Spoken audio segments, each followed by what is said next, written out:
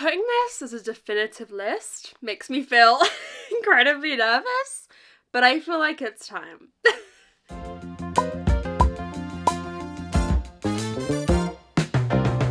Hello friends! So the other day I realised I have never done a my favourite books video, ever. I've never done it in the history of my channel. I've only ever done like best books of the year, but I thought it was time I give you a definitive list of my top 25 books ever. it's about time! Putting this list together was actually easier than I thought. I feel pretty confident in my picks. Of course, with anything like this, there'll be a comment. It's like, why didn't you put this book in there? Why didn't you put this book in there? And I'll be like, oh shit, yeah, you're right. but at the moment, I feel confident in my choices. And the way that we're going to do this is I haven't ranked them from like 25 to 1 because that would be too difficult. But what I have done is we've got three kind of tiers. We've got 25 to 16, 15 to 6 and then the top 5. So I've been able to rank it like that. I have got my top 5 books of all time and like the tiers kind of separating them. Should we just get into it? I don't really know what to do. This is I just guess a video of my top recommendations. Some of these will be books I haven't spoken about in a long time because they're books I read a long time ago. There might be books you don't even know that I've read or loved and some will be more recent additions. So shall we just get into it? I feel like, I don't know if you can tell, I feel nervous. Let's just begin. So we'll start at the bottom and work our way up. So this is the 25 to 16 number book, so it's not ranked within this. Um, but yeah, this is the first tier. So first book I want to mention is The Tea Dragon Society by Kate O'Neill. I still haven't read the next two in this series because it's so precious and incredible. I want to like keep it for the perfect day. But basically you're following these like tea dragons who like help brew tea. There's the different types. And it's just the most gorgeous graphic novel you've ever seen. Like literally a hug in a book. I need to reread this. Maybe I'll just like reread this like right now. Found family, fantastical little magical creatures, and I love it. I can't wait to read this with my kids one day. I genuinely think that. Like, I think about when I'm reading it, like, oh my god, imagine a little kid, look, at little Very strange. Uh, yeah, it's just so wholesome, so beautiful, and you've got kind of this friendship between these two characters as well. So yeah, I had to put this on here. I find that I prefer cute graphic novels. I like graphic novels that are cute, wholesome, happy, and so if you ever have any recommendations for that, let a girl know. Oh my gosh, no, I've bent this book. Oh shit. well, then we have the only non-fiction book on this list. It was tough. I almost put another one on here. I almost put The Five by Hallie Rubenhold, but it didn't quite make it. But this is the only non-fiction. It's one I read a super long time ago, and it is Bad Feminist by Roxane Gay. So this is a series of essays from Roxane Gay. It's set into sections. We've got me, gender and sexuality, race and entertainment, politics, gender and race, and back to me. And I just thought this was so insightful, so interesting. It's such uh, a great look at intersectional feminism, but you know, the difficulties of sometimes being a feminist whilst also having these ingrained societal perceptions. I never highlight, but I highlighted a lot in this book, and this is actually one I would really love to reread. I just thought it was so interesting. I felt like when I was reading it, I opened my eyes, and I always say my favourite essay in this is the one where she talks about her love for Scrabble. I love it. Like, I love the essay about Scrabble in this. I found it so interesting. Then we have a new edition. This is The Broken Girls by Simone St. James. This is a, just a pretty simple kind of mystery. We have these two timelines, one in the present day, a woman whose sister was murdered about 20 years ago, I think, and found on the grounds of this old school. And then we also follow perspectives of these girls who went to the school when it was happening. And in the present day timeline, again, a body has just been found on the school grounds again. And I just loved this. I loved the uh, relationships between some of the girls in this. I found the way that the mystery unfurled was so interesting. I thought the writing was incredible. It really made me fall in love with Simone St. James's writing, and I've been wanting to try more from her ever since. And I always say there's, there's like a little bit of speculativeness. Is the camera not focused again? What is going on with you? What has happened? it's like having a job working 24 7 for two days on the trot. Yeah, there's always a little bit of speculativeness to these books. There's always a little bit of like something lurking and I just loved that. I wasn't expecting that because so often a book promises me spooky vibes, ghosty vibes and yet then at the end it's like, oh, it was nothing oh, you know. Whereas this, there's still a little bit of hmm, throughout the book, you know, a little bit of is there a ghost? Is there, you know. But it's not overpowering. It's not really what the book's about. But I love that. I love a bit of supernatural speculativeness outside our worldness. So yes, cannot wait to read more Simone St. James. Another one from last year was Jade Legacy by Fonda Lee. This is the last in the Greenbone saga. We're following this family who are like uh it's kind of like a mafia fantasy and this family are one of the most powerful families in the city and this book even look at me don't even look at me trauma, family trauma, generational trauma, family trauma, You know, generational trauma. generational trauma, generational trauma, Yeah. trauma, Trauma. trauma. By this book, you have been with this family for so long. You have cried. You have been emotionally damaged. And this book also takes place over the course of, I think, about like 15 years, I want to say at least. It's a long time. And I just, I haven't read a lot of fantasy series to the end, especially like adult high fantasy. Like, this is kind of intimidating to me. But by the end, the level of detail that you are immersed in with this book and the level of connection you have to the family and to everything that's gone on and like the way that things happen in this book that the roots were laid of in the first book i just thought this was an incredible culmination of what was a really great series. I didn't love the first in the series. I think I gave it a 3.5. So I liked it, but I didn't love it. Whereas Jade War got a 4.5 and this got a 5. I just like I loved it. I read it in like 2 days as well and it's really long. I just thought it was incredible. I thought it was such an amazing feat of writing. Then we have one of the first murder mysteries I ever read and the first Agatha Christie I ever read, and that is Murder on the Orient Express by Agatha Christie. I am about to do a reread of this pretty soon. I think I've got to read one more in the Poirot series and then this comes up and I'll do a reread. I think this is a perfect murder mystery. I think it's a perfect murder mystery. So there's a murder that happens on the Orient Express on this train. Poirot is there. The train is snowed in, as you can see. The, the train is stuck. So Poirot's like, I'm gonna find out who did this. A, a big part of Poirot figuring it out is, I always say, a series of interviews. He basically just interviews every single person because you're you're stuck on a train. You know what I mean? Like, not's gonna not a lot's gonna be happening. But I loved that. I loved it so much because it allows you to really play detective and try to piece everything together. And the, as this goes on, I'm not going to spoil anything, but you start thinking like, holy shit, what? Like there's a lot going on here.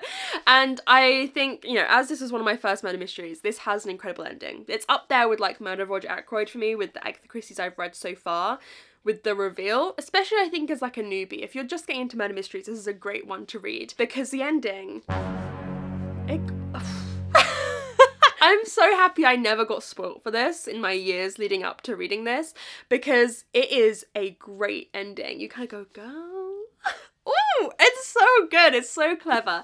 And I love when Agatha, Miss Agatha gives me an ending like that. Next we have House in the Cerulean Sea by TJ Klune. This is like a found family, a cozy fantasy story. I'm sure you all know what it's about. We're following Linus Baker who goes to this orphanage and he's supposed to kind of be checking up on how it's being run but it's you know it's a found family and the love that they have there this is just a hug in a book i just love it next! Okay this one is a little bit controversial because it's lower down than you guys would expect. I think you would expect it to be one of the upper two tiers but it's the guest list by lucy foley. What? now this was once my favorite book of the year but I'm not I don't know if I I reread it. Okay, this is one of the first murder mysteries I ever read. So I love it for what it did for me and like the path it put me down. We're at this wedding on this remote should I put this higher? I don't know. Just this could be higher, okay, but whatever. We're following this wedding at this remote Irish island and uh there's a murder that happens and we know at the beginning, but we don't really know who's murdered and then we go back in time and we're kind of catching up with time and it's really really I mean I love Lucy Foley. But I reread this last year and I don't know, I mean can a murder mystery like ever, especially one that you really went into so blind and not really knowing the genre, can it ever really match up on a reread? I didn't feel like it it really, you know, was quite as mind blowing on a reread, but that's because I knew everything. So I don't, I don't know if that was fair of me to do. I loved the writing. I love Lucy Foley's writing. She writes horrible rich characters so so well. like so good. I thought the reveals and how this book unfurled was amazing. Maybe this should be higher. I'm talking myself into it, but these are all my favorite books, you know, so it's tough. Then we have A Good Girl's Guide to Murder. In this, we're following Pip as she tries to solve a cold case in her town. This is YA mixed media. I love it. right? Holly Jackson. We're just pretending Five Survive doesn't exist.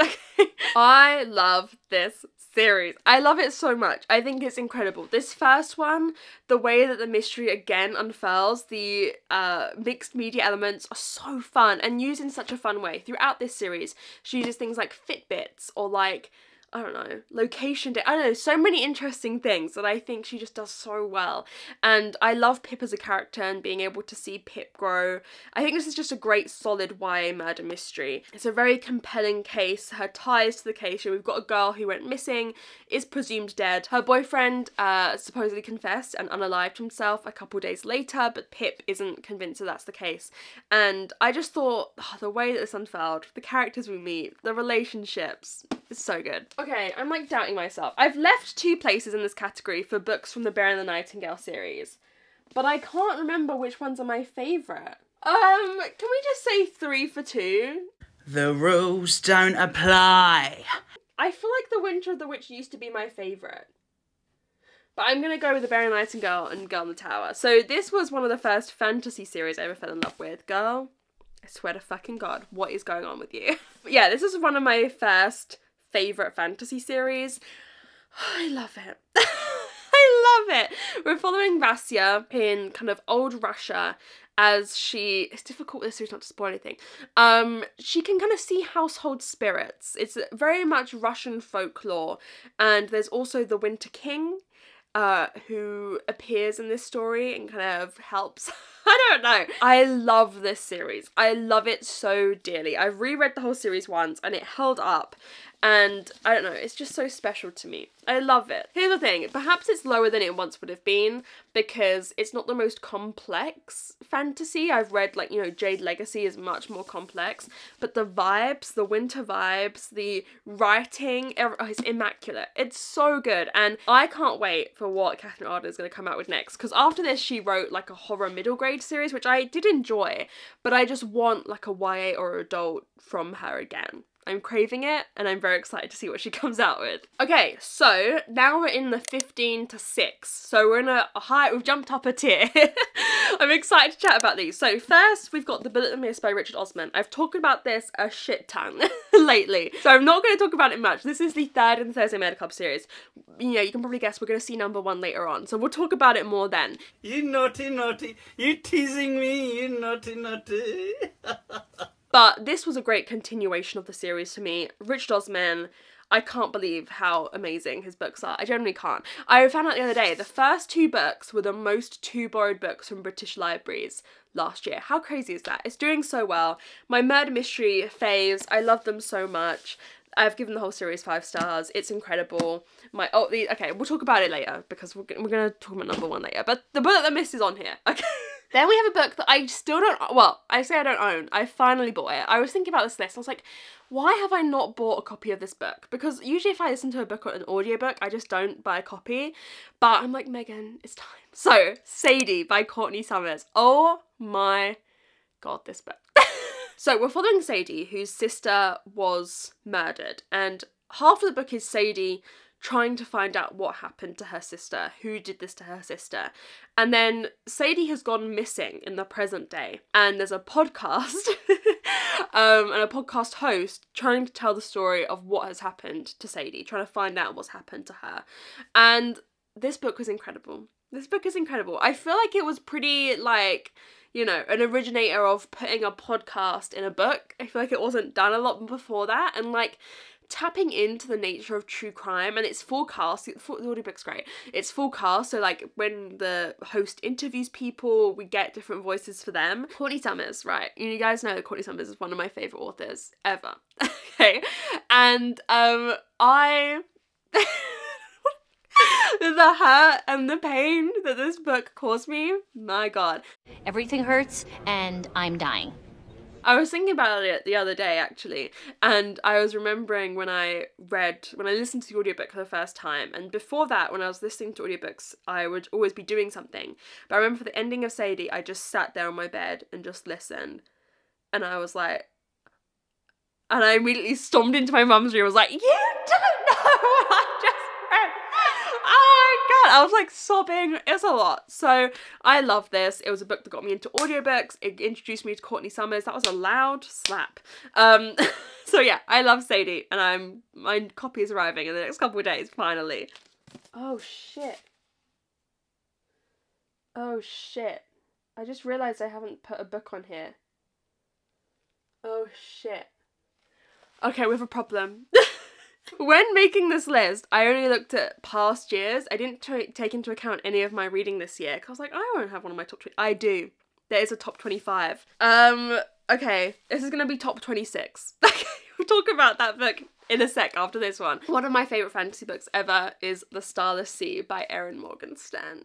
I love her. this book is again very difficult to describe. We find we meet a guy, protagonist, who finds a book that something that happened to him is written in it, but he can't understand like how is that possible because there was no one there when it happened. And we go into this world of like books and craziness. I don't even know how to describe it. It was so long ago I read this. But Erin Morgenstern's writing does something to me. It does something to me. I love Erin Morgenstern's writing. It's gonna be for you or not.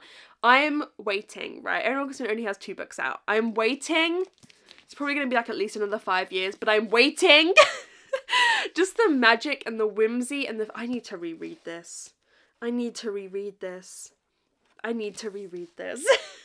I love it so much. I think it's so magical. I this was again at the very early days of me getting back into reading. I had no idea who Erin Morgenstern was when I picked this up. I thought I discovered a book like no one knows about this. It wasn't the case. I fell in love. I don't know how else to describe it to you. I fell in love. I loved it so much. Okay, the book that I forgot to put on here was Legends and Lattes by Travis Baldree. Yes, it's new.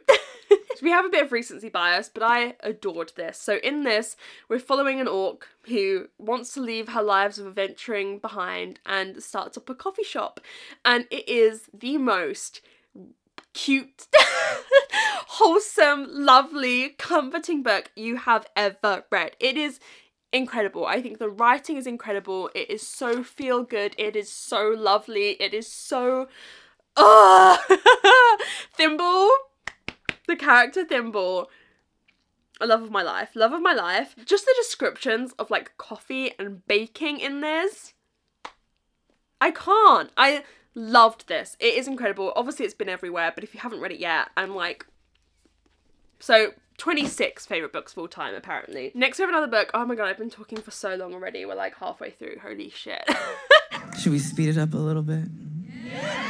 Next, we have this fucking. What is going on with you? Do you have. Like, I don't understand. Have I dropped it or something? One of the books I read a very long time ago that I love dearly Seven Husbands of Evelyn Hugo. I don't need to speak too long about this. We're following Hollywood starlet Evelyn Hugo. By the way, I have always wanted to read another book set in old Hollywood, and I just can't. Why is there not more? I think Siren Queen by Nghi Vo on my TBR is.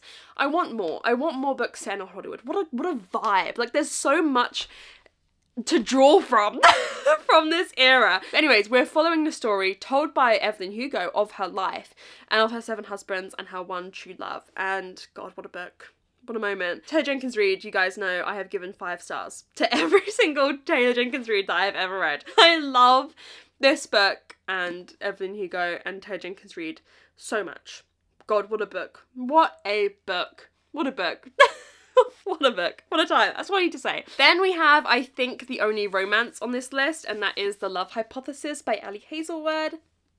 I don't want to hear any any criticism. I love The Love Hypothesis dearly. I love it dearly, okay? My favourite romance ever. Yes, it's Kylo Ren fanfiction, we're going to talk about that, okay? We're following these two scientists as they fall in love. It is the best, okay? I love Ali Hazelwood. Uh, you can attack me, I don't care. Yes, her writing is fanficky. That's why I like it. I grew up reading fanfic. That was my life. I grew up reading One Direction fanfic. so I loved it, I loved it, I loved it, I loved it. It did something to me. It ignited me loving romance. And Ali Hazelwood will forever be my favourite romance author. I'm saying it and I'm saying it now. then we have another from the Good Girls Guide to Murder series, As Good as Dead. It ranks a bit above a Good Girls Guide to... It ranks a bit above a Good Girls Guide to Murder for me. Listen, this book is Marmite. People will love it or hate it. I think it is one of the boldest, ballsiest things an author has ever done with an end of a series that I have read. Like it goes there, right? So you're following Pip, she's a schoolgirl, she's a goody girl, you know, whatever. And over the course of the series, she's been struggling with what she's doing, like does is she doing the right thing with what she's doing and uncovering these cases and solving these cases. And she gets these letters in this one, this last one, saying who will look for you when you're the one who disappears? Seems she has a stalker. The like wireless printer turns on and people are printing stuff into her house from somewhere outside. And then this book takes a turn. Oh, how the tables have turned. I'm not going to tell you what it is, but it takes a turn. And if you've read, I. The way this made me feel. We've got another book coming up like this. Tense. Tense, tense, tense. It is incredible. It is a work of art. It is high, high, high stakes. And I loved it. I loved it. But some people don't like it, but I think incredible. And some people moan about the ending of this and how it's open and like, oh, what happens? Have some reading comprehension. It's obvious what happens. it's obvious how this ends. Okay, they're like, oh, I wanted this to happen, but I don't know if it will. It does, okay? It does. Read. oh. Anyways, I loved it. I loved it. I loved it. I think it's incredible. then we've got my other favourite graphic novel other than Tea Dragon Society. It's Heartstopper, okay? I'm shocked. This is shocking news. I've put Heartstopper 1 on this list, but I genuinely don't know which my favourite is. So we'll just we'll just say this one, but it could be any in the series if we're honest. You all know what this is about now because of the Netflix show. Nick and Charlie fall in love. Whatever. It's about these two guys falling in love. This is what I'm saying. I like cute graphic novels. So cute and wholesome and lovely and wonderful. You guys. It's incredible. It's incredible. it's incredible. I love it. I love it so much. Gosh. I liked the TV show. I didn't love it as much as I love this.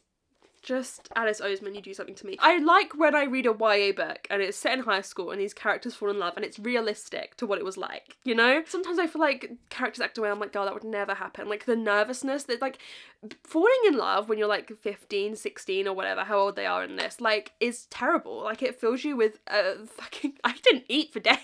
it's horrible. Like you you feel nervous and anxious and like, do they like me? You know what I mean? It's a completely different ballgame as an adult. But yeah, we know I love Heartstopper the best. Then we have the other book that I was mentioning in relation to As Good as Dead, and that is No Exit by Taylor Adams. I always say for me, I think this is the a perfect thriller. It's a perfect thriller. So we're following. Is her name Darcy? I want to say her name's Darcy. Darby.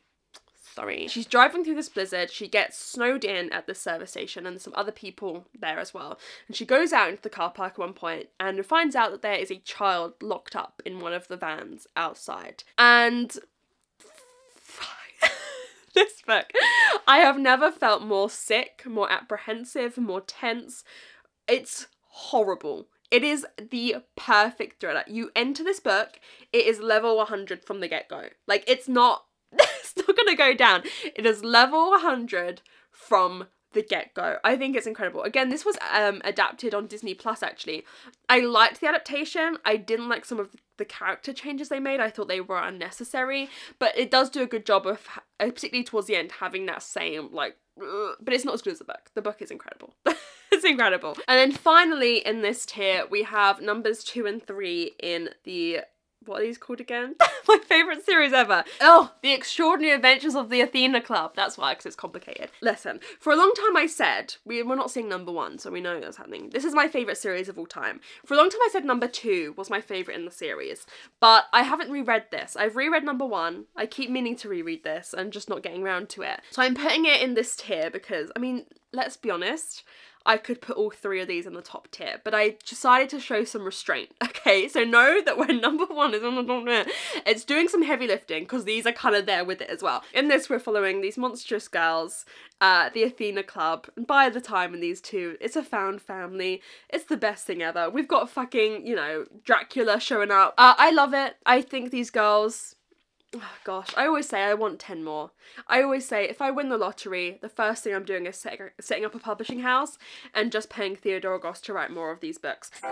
You may say I'm a dreamer. I love the way it's written. It's written by one of the girls, Catherine, and the other girls will cut in when uh, they don't agree with something. I, we're about to talk about this series again, but I love it. And I always say number two is my favourite, I think, but I, was, I haven't put it in there because I haven't reread it. But it's so long and it has no business, it's like 800 pages. It has no business being this long, but it means I get extra time with the girl, so I do not care. Okay, now we're into my top five books of all time. This is tricky, okay? But I think I stand, I think, I think that I stand by this. I'm saying it now. I think that I stand by this. Okay, so this book was not my favorite, but my second favorite book of 2021. So I had a pretty good reading year in 2021 because number one is on here as well. But this was my second favourite and it is The Once and Future Witches by Alix E. Harrow. Oh my gosh, it has so many fa my favourite things in this, right? Imagine beautiful lyrical writing a la Erin Morgenstern. We've got sisters. I love sisters. I don't know why. We've got witches. They're sisters who are witches. They're in, uh, this is in 1893 in New Salem, I want to say, yes. And it's about them uh, they're kind of like wrapped up in the story of the suffragists who are kind of campaigning at the time. This book, my god, what a what a moment! What a moment! I need to reread this one as well. I keep saying this, but mm, yeah. it's so good. It's so good. Sisters who are witches. I don't get like the writing incredible. Storyline incredible. Vibes incredible. Everything incredible. I don't even know how to describe this book to you. The relationship that you see between these sisters grow over time. I don't even have words for it. I don't even i don't even know what to say to you. To say to you. It is incredible. Incredible. Incredible. Loves of my life. I love them. I love this story. Then we have another one that i spoke about earlier the thursday murder club by richard osman. Okay? It's here. It's in my top five. We are following these group of friends who live in a retirement home and they have a Thursday murder club where they try to solve cold cases. And murder turns up on their doorstep, baby. It's so good. These books are so funny, so heartwarming, such a incredible look at the human race and human nature and what life is and what life what it means to live life. Like it's amazing. I can't tell you how much I love these books. They always leave me feeling hopeful, but at the end of the day, they're a great murder mystery as well. I love them. I do understand why, if you're from the US or Canada or just not from the UK, I'm not saying you're not gonna love this because plenty of people have given this five stars who don't live in the UK, but it is very much British humour and a lot of British references, like in terms of like celebrities or like, I'm just thinking of the bullet miss, like when it talks about local news, like what our local news is like, like you just have to be there. like to get it. Do you know what I mean? There's a lot of niche British references, but that's not to say you can't enjoy it outside of that. This book, oh, this one, I've just remembered some things that happened in this one. Let's not talk about it. It made me sob. This is what trauma looks like. sob. Because at the end of the day, right, I'm not going to spoil anything about this series, but like we're following elderly characters. So there is a lot about the the fragility of life at the end of the day, and that's why it makes you want to get out there and just live life because it reminds you like we're only here once. Do you know what I mean? And um yeah, wow, what a moment. Incredible, incredible book. These books are also super popular in Germany apparently. I remember him saying that like top of the list in Germany. So, I don't know, but I love them. Okay, the next book. I don't know how much I stand by this. But I feel like because of what it did for me and it's the whole reason we're here today. I have not reread this. I will reread it at one point, but I have to put it on here. Okay, and it is The Secret History by Donna Tartt. The other day I got a comment. It was like, "Have you ever read The Secret History? I think you'd love it." And I'm like, "Girl." so those of you who don't know, I stopped reading for many years. I got super consumed with school. I was that kind of girl. I was a nerd. And I stopped doing a lot of stuff I love and I stopped reading. And this was the book that got me back into reading.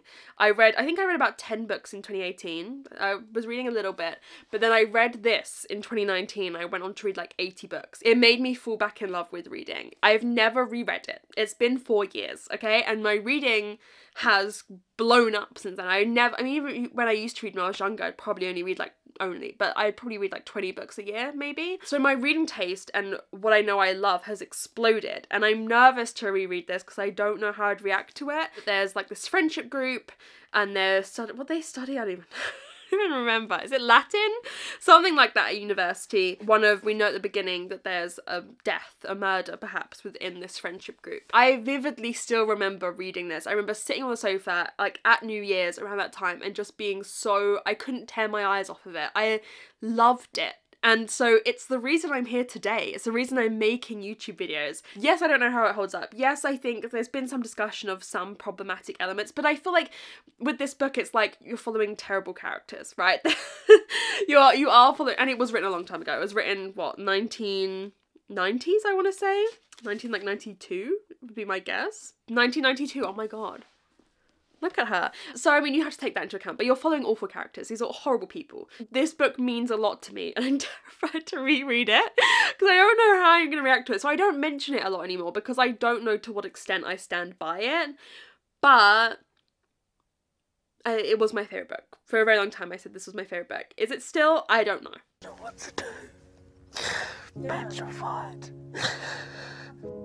Petrified. I don't know, but it's the whole reason we're here today. So there we have it. Then we have my favourite book of last year, and that is Babel Babble by R.F. Kuang. I this book, wow, incredible. No notes, incredible. We're following. I seem to like university. I do like university. I love a good university setting. We are following these group of translators at Oxford, and we're in a fantastical world where there's like. Mm. the magic system is powered on translation and silver working with that translation. And I just loved this. I love footnotes. but I just thought R.F. Kuang's writing in this was incredible. The writing, the development, what this book means, what it's saying about history and about present day and about colonialism and racism and everything. I don't even know how to describe it. I love this and I cannot tell you enough how much I love this book. I think it was amazing. I cannot wait for everything R.F. Kuang is going to write in the future. I think she's like one of the best writers of our present day, in my opinion. Tom, my boyfriend, has just started reading. He was never a reader, but he's just read the Wolf Hall trilogy, and then after that, he's going to read Pachinko because I, I got him that for Christmas because I thought he would enjoy it. And then he's reading this, and I'm very excited to see what he thinks of it. Nervous because, you know. he's he can be a scathing critic if he doesn't like something but this book is near and dear to my heart and it's going to be a favorite forever to come. And then the final book, oh my god, this is like the longest I've ever spoken, but this is my favourite book, so can you blame me? Holy shit. Oh my god, that actually made my heart hurt. Oh my god.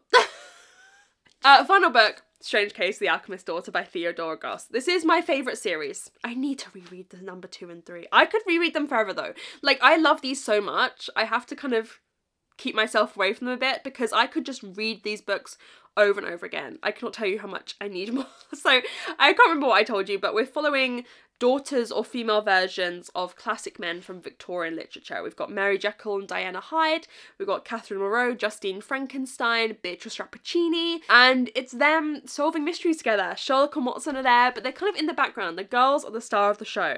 And it's, I love Victorian, right? I've always loved Victorian history since I was a kid. I was super into Victorian history. So I love a book set in Victorian times, and I think it's, it's such a great setting for like mysteries because it's like dirty, dingy, like Jack the Ripper, like you know what I mean? And this these these girls I have never I'm not a big like character person like you know when like people run fan accounts like you know that's great for you but like I I can't imagine I've never read many books where like I love the characters I'm much more of like a plot and writing girl but these characters I would fight to the death for. I need 10 more Theodora Goss. I'm gonna ring her up. I'm actually done. I'm actually gonna write her. I've never contacted her because I'm kind of like afraid. Like, oh my gosh, like I'm actually like a crazy fan. But I'm gonna be like, please, write more. I just love it so much. These books are my perfect books. Mystery, Victorian, these girls. I love how it reclaims women's place within classic Victorian literature and uplift these women and makes them the star of the show. It's the best. It's the best. It's the best. So, there, oh my god, I actually feel sick. That was my top 26 books of all time because we had to add in Legends and Lattes. It is, it has solidified itself in my I wonder if any other books this year oh my god how exciting. I wonder if more books this year will solidify themselves in my top 25 books. I'm hoping. I just I'm feeling more and more of a time I do get to know my reading taste. To be fair from last year there wasn't a ton of new favourites so we do need to go on the hunt and get more. But um yeah I hope you enjoyed this video. It was that's this is a long video. This is going to be, I mean, I've got 45 minutes of raw footage. I don't know what I will have gotten it down to. This is a long video. So thank you for watching. Uh, if you've gotten to the end, please tell me what your, some of your favourite books of all time are. I would love to know and comment a star emoji. You guys, thank you for watching. I love you. and I'll see you very soon in another video. Bye.